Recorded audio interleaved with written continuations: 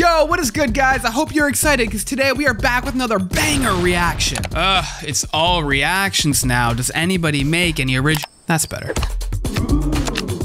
All right, chat, uh, give me a second. I'll be right back, but uh, enjoy this video. I gotta pee.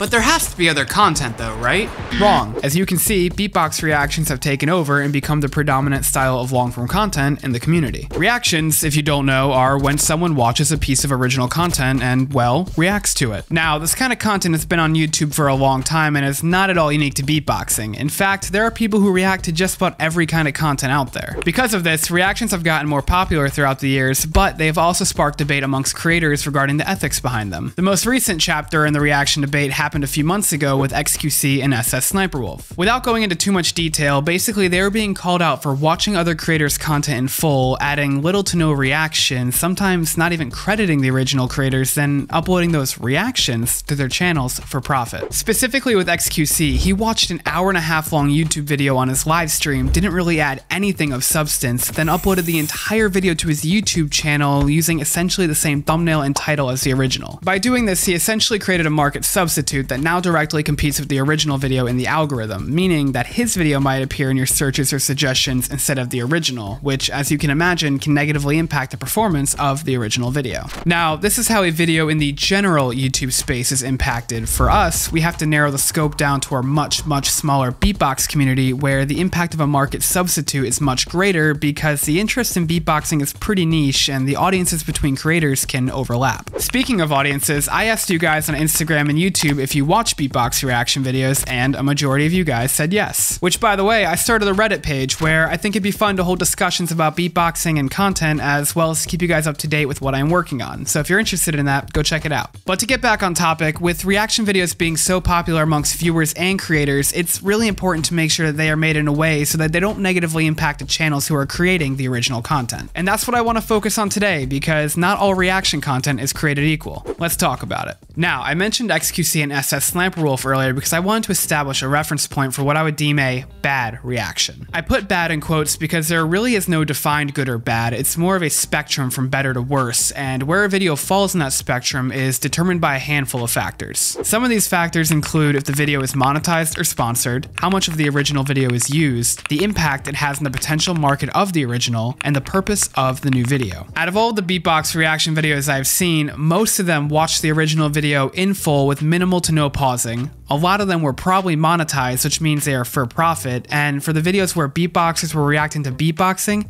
they definitely had an impact on the potential market since their viewers are already interested in beatboxing and might have searched or been suggested the video otherwise. In addition, the reactions typically use the original video's thumbnail and title, with the only change being that they put their face on the thumbnail and name in the title. And recently, people are uploading reactions only hours after the original was posted, and after 48 hours, almost every reactor has uploaded theirs. Imagine posting a video only to within hours have multiple well-known beatboxers with big channels upload a reaction that includes your whole video, thumbnail, and title all before your video even has the chance to thrive. Like, as a creator, I know that sometimes it can take up to a week for a video to find its footing and gain traction. Only getting a few hours?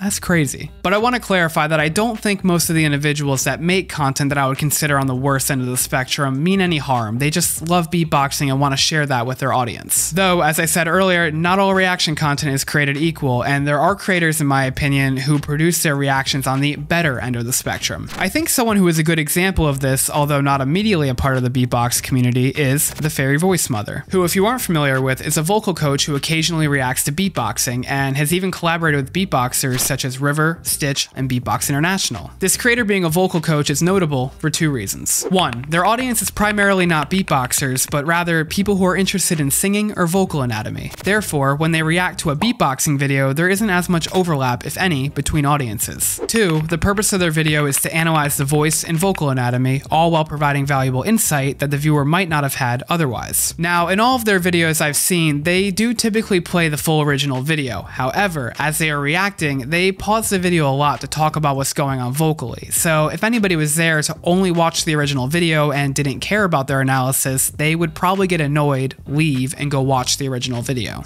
Another good example, this time from within the beatbox community, is when Maddox reacted to the inertia versus helium battle from GBB 2021. The reason I think this reaction falls on the better end of the spectrum is because he split the beatbox battle into two analysis videos, one for each round. And in each of those videos, he would only watch a small portion, then provide his analysis. He never played the full round uninterrupted. Because of this, it's unlikely that these videos would be considered a market substitute since the original video is only 10 minutes long, while the total runtime of his two separate reaction videos is almost an hour. To give you guys one final example, I saw something recently from D-Low that I thought was pretty creative. In his recent GBB reactions, where he was a judge, he has been showing his POV from the judge's table. During this portion of the video, the focus is on him, with the original video tucked away in the top left corner, and instead of using the audio from the original video, he uses the audio from his camera, which isn't very good. This combination makes it very difficult to enjoy the original video to its full potential, and anybody watching it is most likely there to hear what insight he can provide as a judge from that event and to watch his real-time reaction. That, along with the fact that both his thumbnail and title are unique and not carbon copies of the original, in my opinion, place these reactions on the better end of the spectrum. Going back to the poll where I asked you guys if you watch beatbox reaction videos, I also asked what you guys thought about beatbox reactions in general. From your responses, it seems that you guys prefer reactions like the examples I provided, where the reactor adds significant insight, value, or just provides a different perspective. So I hope that if any creators are watching this, that they take these factors into consideration when making reaction content so they aren't creating market substitutes and are giving the original content the opportunity to perform to their full potential. Which kind of brings me to why I'm making this video. I feel like every day I check my subscription feed, I see like one original beatbox video followed by multiple reactions to that video. And it's crazy to me with an art form as original and creative as beatboxing that our content right now, well, isn't. Maybe it's due to a desire for views or to keep up with the ever increasing demand for content that, let's be honest, is virtually impossible to keep up with. But reactions, if done on what I would deem the worst end of the spectrum, are very easy to produce. I mean, I could sit down right now and produce a week's worth of them in a matter of hours, but it would all be at the expense of the original creators, and I personally wouldn't get all that much enjoyment out of it. Plus, I know how much work can go into producing original content. From planning to scripting, storyboarding, filming, audio engineering, color grading, editing, cutting shorts, making a thumbnail, and marketing. Where I can imagine not being too happy if someone takes your video, makes it full screen, hides their camera in the corner, plays the video uninterrupted, provides little to no commentary, overreacts, then profits. With that said, when reactions are creatively made and add significant value, they're fun to watch and I totally understand why they're so popular. But I think that basically covers everything. What do you guys think about beatbox reactions? Let me know down in the comments below and stay hydrated.